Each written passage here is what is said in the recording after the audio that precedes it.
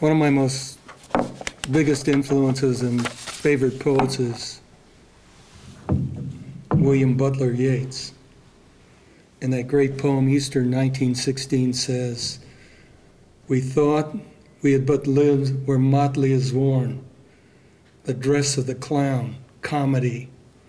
All's changed, changed utterly, a terrible beauty is born.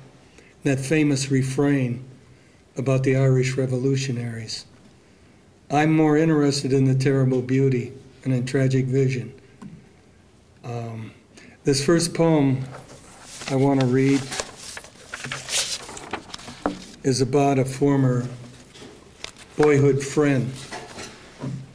Uh, we used to stick up for each other in the playgrounds and things like that. Then someone told me he was murdered when I went back to San Diego.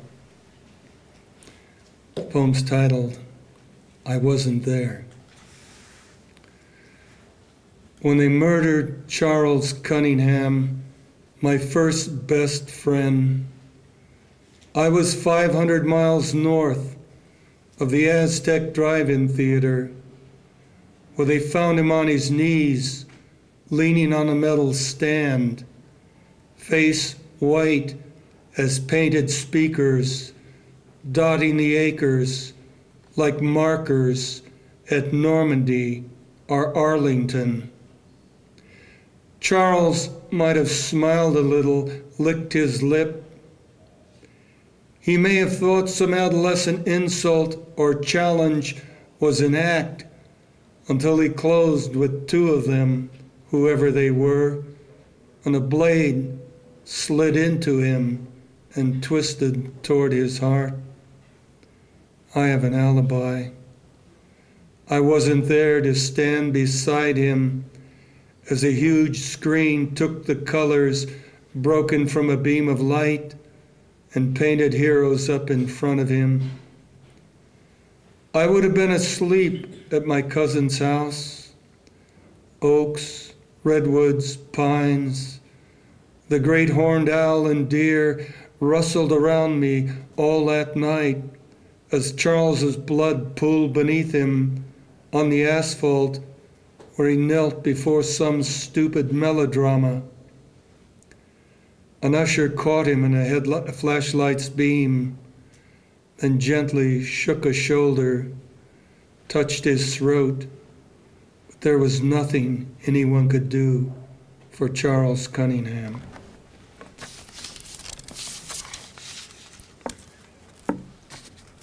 The poet, I had these all in order and I got them all out of order. How did I do that? Uh, the poet James Welch, a Native American poet and novelist, is best known for his novels. He's a tremendous guy. And after many a drop was drunk, we were down on the kitchen floor and he was teaching me this Blackfoot chant where I could then assume the powers of the bear. Bear Song. James Welch and I were very drunk. He got down on all fours, chanting a Blackfoot brown bear song. Wind nudged the kitchen doors. Dizzily we swayed on the rough tiles, reddening beneath our knees, and did not see the moon's effects glowing through the banked trees. We grunted, rolling our bleared eyes, glancing at our bare arms, as though a thick fur sprouted there, invoked by magic charms. Bare teeth and claws threaded by chains, formations of firebirds painted on Jim's sports shirt, the smoke of sweet grass mixed with words. The family cat pushed through and stopped. His fur stood up like quills. And then he streaked through the backyard on grass where the moon spills herself continuously through a bodice's ripped silk, black against the bare white skin. Some spots seemed drenched with milk.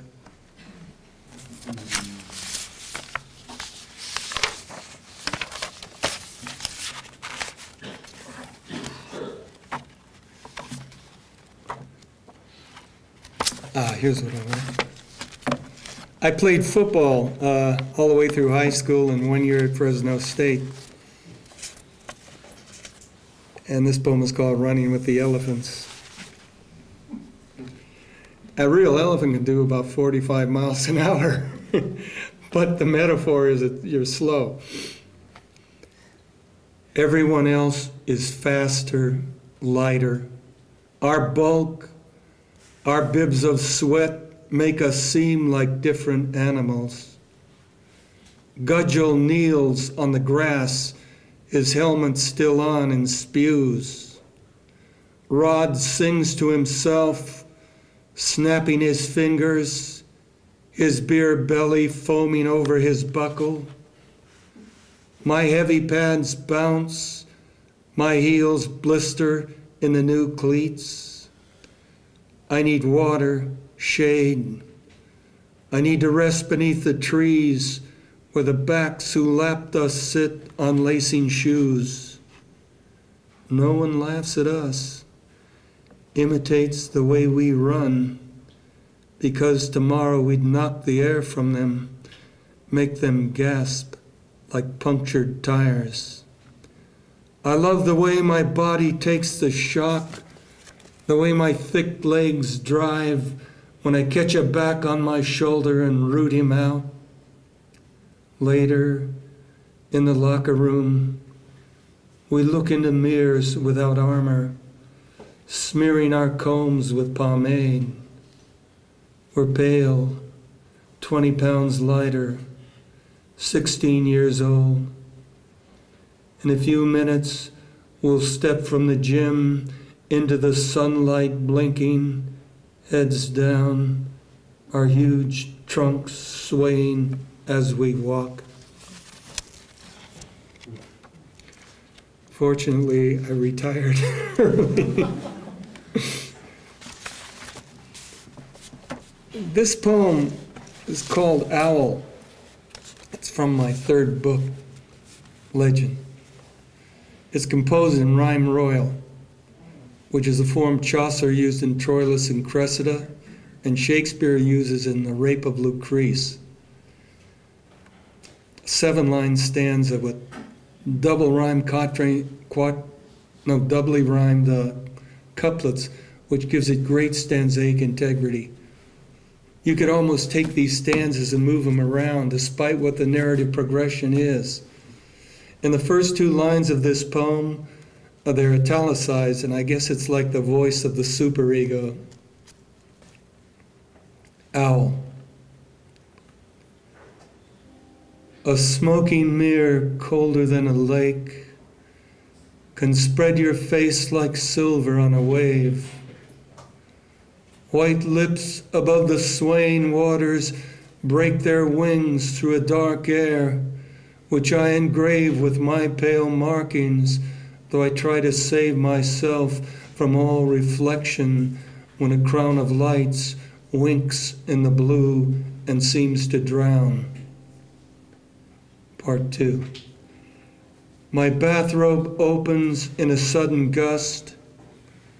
Its gray silk puffs around the shoulders, black lines run down the sleeves, white down at my chest. I'm at the window, fingers in the crack. Where cold air issues as I hunch my back. To lift and see thorn branches whip the air, wind ruffling the light plumage of my hair, wind wearing at the skin of temple and jaw of the owl who dives into my moonlit yard and the wings splash on the mouse stuck with straw. When he rises, I think I see eyes starred like cut glass, and I try to disregard these heavy bones, move like the owl, the shark of night, and pick whatever is from the dark.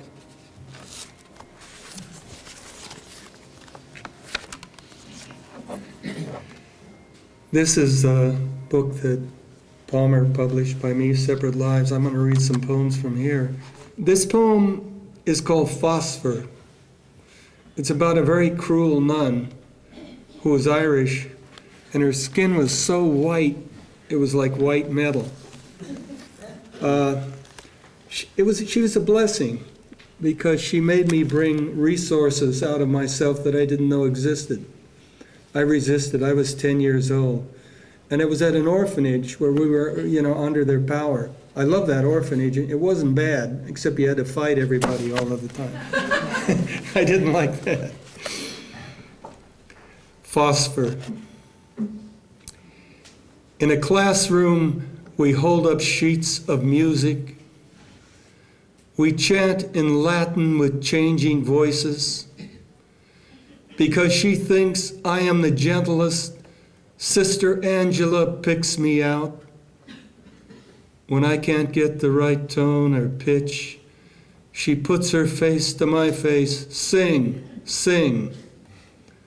The wen on her cheek quivers on a skin so white it almost seems like phosphorus. I know she'll hit me in a second, but nothing will make me sing now.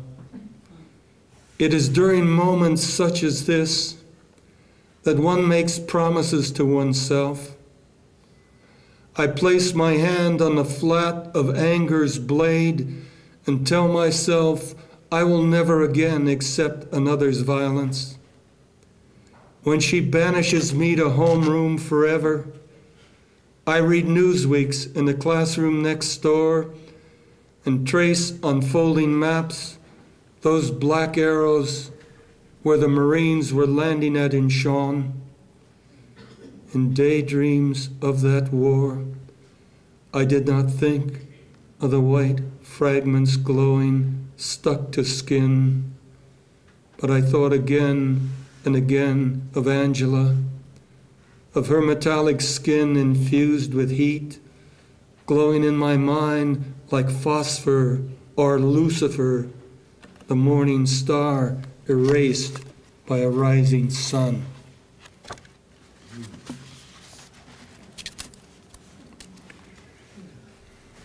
My cousin, who I grew up with, he was more like a brother, drank himself to death. In this poem, I, ozone depletion makes us vulnerable to uh, ultraviolet rays. And the news of the death of a loved one makes us vulnerable to another kind of pain. Like ozone, night after night, his head went down by eight o'clock, and the dim light from his clock radio would guide him to his bed and play all night. No one would ask him why he drank so much. No one would say, It's time to stop, drink water, cleanse with sweat, and end this semi mortal crime. All of us, relatives and friends, would watch this, even drink with him at times, say nothing till the pain, his eyes cupped, spilled over the brim. But there's a price we pay for this. And it is absence, absence stark as a hole eaten through the blue masses of air into the dark, from whence come energies that burn the unprotected skin and blight the leaves of certain plants, pulses invisible are too too bright.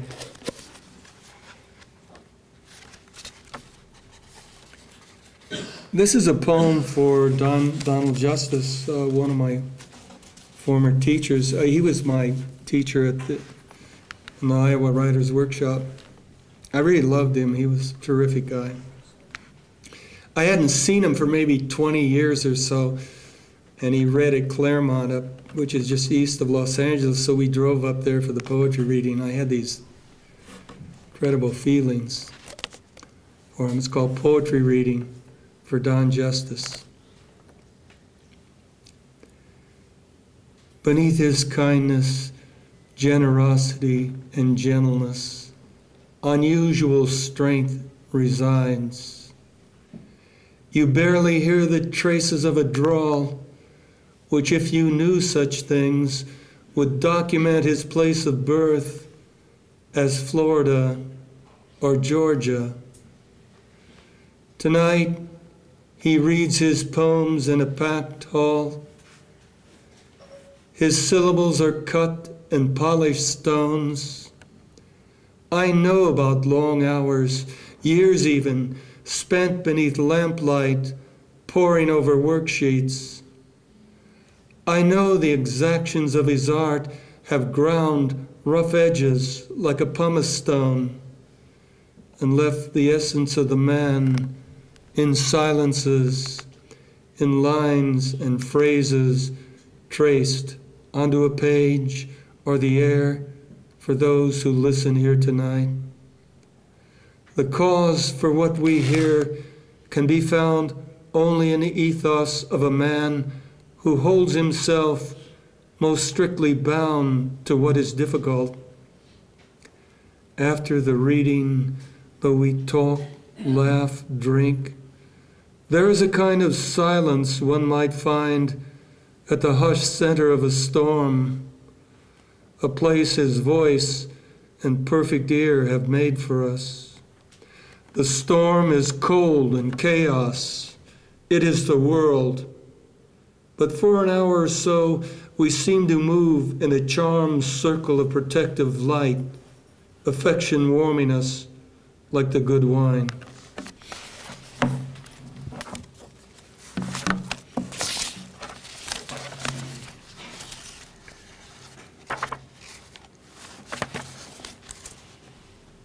when I was 18 or 19, I was stationed at Bainbridge, Maryland, uh, and all of us were out there. Hitchhike, you could hitchhike in those days. Maybe you shouldn't have, but we could. Uh, down to Washington D.C. because you could drink beer in the bars there, and you know, and all that. So uh, that's what this poem's about. It's called "Young Sailors on Liberty." Sometimes on Saturdays, they'd hitchhike south to Washington, D.C. There they could drink beer at 18 in the jazz clubs and mouth sweet notes. A trombone's neon sliding sank into the darkest places they could feel. And those immoral, fabled women who worked for the government might slowly trail them after closing down a street glazed blue or red by pulsing signs and gentle rains. If they could reach the park where monuments dropped columns on the pools that shivered pines, why anything could happen in the dense shadows of all that foliage charged with dew. But usually nothing came of this and sailors, like chained up animals in the park zoo, howled, drank, till headlights of the passing cars merged with the other lights. Then they, with arms entwined, like men surviving battle, limped homeward toward a cheap hotel. Perhaps the worms of their desire anesthetized lay slumped at last in alcohol bathed by the tides, and all those bottles tilted toward their lips. Some slept, a wrist above their eyes. Their needs, submerged, ran swiftly in their blurring shapes. The terrible thing about the military in those days, there hardly any women at all it. It's awful. You can't, you know, I mean, that's terrible. The next poem is called Wild Music for my beloved Mariana. Takes place, I have a lot of Texas poems. They're much simpler than my other other poems. It takes place in uh, Castroville, Texas, south of here. Wild music. we will return, my love, to this small town. Here the Alsatian houses are pale blue or white, with metal roofs which slope down toward fenced in plots crammed with vines, wild grasses, flowers rioting against some weathered planks. There are blue bonnets and red poppies cupping flames, and cell phone photographs you took the day I posed against the splotched raw colors there. I would have picked a red bouquet for you, but a dog lurking near waited for one of us to touch his planks, where blossoms scored the wood like painted notes on blown parchment. No Irish monk would emulate these staves for any illustrated manuscript. But loving their rough textures, I would play them, wondering what wild music I could spill on the air, and if they might give us a song like a tune plucked from an Aeolian harp, wind in the strings, wind in your wheat gold hair.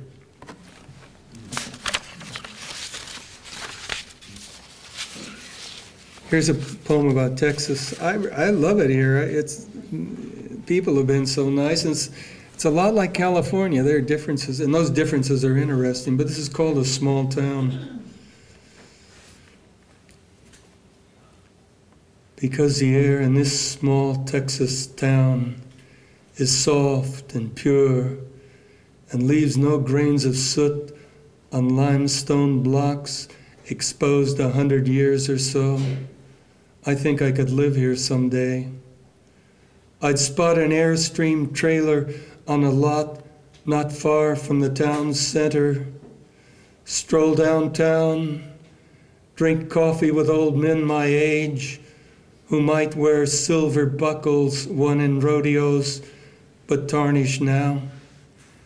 They'd push back Stetson's creased sweat dark along the brim with scuffed up boots beneath them as they murmur through the summer heat. I'd compare this place to the red dotted towns on California maps, their Spanish names San Luis Obispo, Mariposa, Fresno. There'd be a man who'd raise his coffee cup into a beam of light where I could see an anchor stenciled on sun darkened skin, which webs a thumb to a finger, to a bent finger, flukes blue as seawater in those mason jars holding dead specimens boys kept too long. The tattoo's colors wash back into skin. Mesquite, brown grasses rippling in the wind, and the white sand out on the burning plains blurred his eyes, though dark glasses shielded them as he rode down the strays he'd rope and brand. Perhaps this speculation has its source in movies or TV, and then perhaps no one in such a place would easily talk to me or any stranger walking in. Uh, I love the California missions. Uh, I've lived next to the San, the San Diego mission for a long time. But this is called Beneath the Mission Walls. It's a San Luis Obispo mission. Grizzly bears used to come down from the mountains and dig these white roots that are on the banks of the creek just below the uh, mission. Uh, Spaniards didn't put up for that very long. Uh, beneath the mission walls. I love the thick adobe walls, the red tile floors roughened by years of sandals, shoes, boots shuffling over them, and the enclosed courtyard where flowers planted in squares and circles suggest an influence of Spain's Arab architects who built in fluid stone gorgeous geometries of eternity. Year after year, returning to this place, I dig through memory beneath these walls, as though my shambling presence, bulked by age, could find some nourishing substance here where my mother, aunts, and uncles knelt beneath a choir loft braced by large, rough hewn beams. I stand where Spanish archers must have stood before they shot their bolts into the fur of grizzlies, digging for the sweet white roots which once grew just beneath the bank's black earth. And this is about the mission San Miguel, which is about 30 miles up Highway 101. Earthquake, mission San Miguel. St. Michael's cheek was creased, his breastplate split. Some gorgeous blues had fallen on the floor, their plaster sections powdering underfoot. I dropped loose change in a red coffee can, half full of lustrous quarters, nickels, dimes, washed by some candles flickering through the dark. The sapphire at the center of his shield parted as though a broadsword struck it there. We had been taught St. Michael's dazzling shield could deflect almost anything, but now, with painted armor pierced and his shield rent, he seems as helpless as a mortal man. Oh, let us now replaster Michael's wounds smooth them with trowels like a mother's hands, and brush blue pigment there, so that our myth of warrior angels may retain in this place its visible presence, blue on white walls. I'll read one more poem. Maybe I'll read two more poems. You're You've been very patient. Here's a poem about the river walk, and it's a sonnet.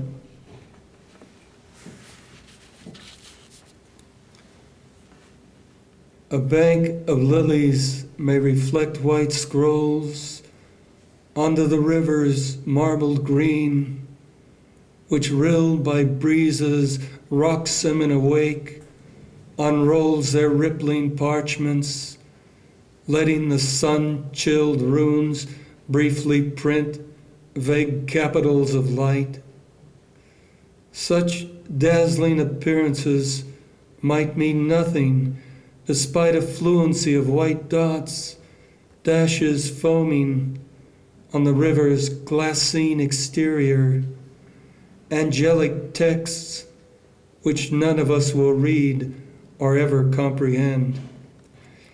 And if eternity's graved colophon crushes beneath a foot as leaves descend, one would still search the river bank to find it trembling on the margins of the wind. One more poem. This is called My Cap of Darkness. It's a title poem of my next of my manuscript, my next book. It's got three influences. Ovid, who has Perseus in the Metamorphosis. And Perseus has this cap he puts on that makes him invisible, and also he carries, he's cut Medusa's head off. And when he wants to fight somebody, he doesn't. He looks the other way and holds it up, and they turn into stone. Uh, so that's one influence. The other one is the uh, Requiem Mass, Dies Irae, Day of Anger. I love Requiem Masses. It makes everyone else sad, but I love them. Fauré and Mozart and all those guys. And the third one is influenced by uh, holy. The third section by one of John Donne's holy sonnets. At the rounders, imagine quarters, blow your trumpets, angels, and arise, arise from death, you numberless infinities. And that's it. That's too great a poem. my cap of darkness.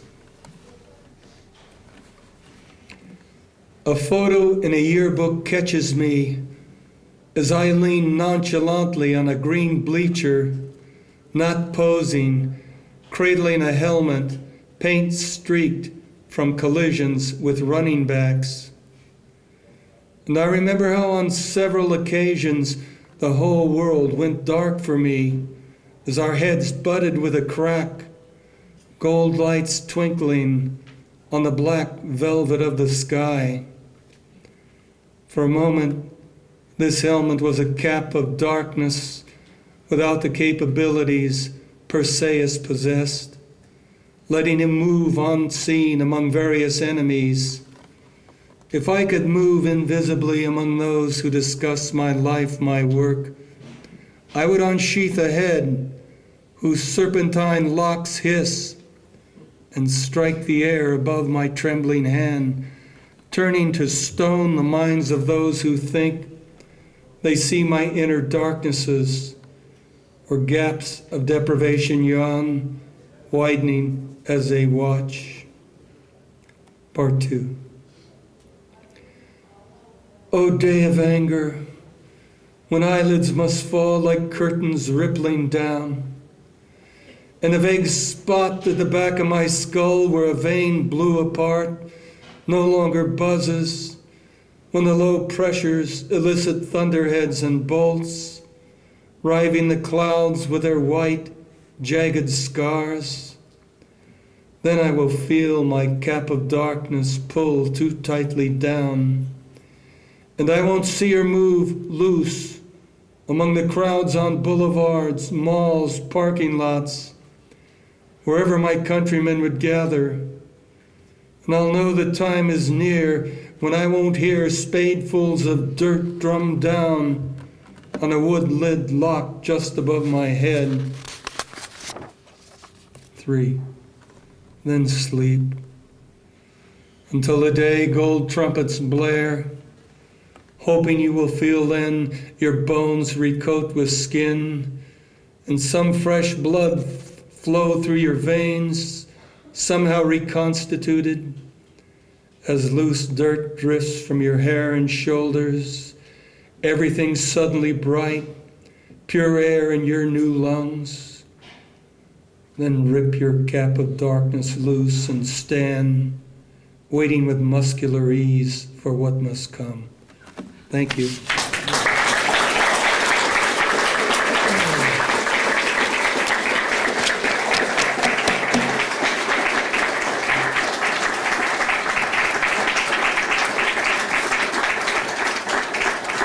Great audience. You're terrific. Thank you. You're patient. You're good. Thank you. Great reading. Thank you.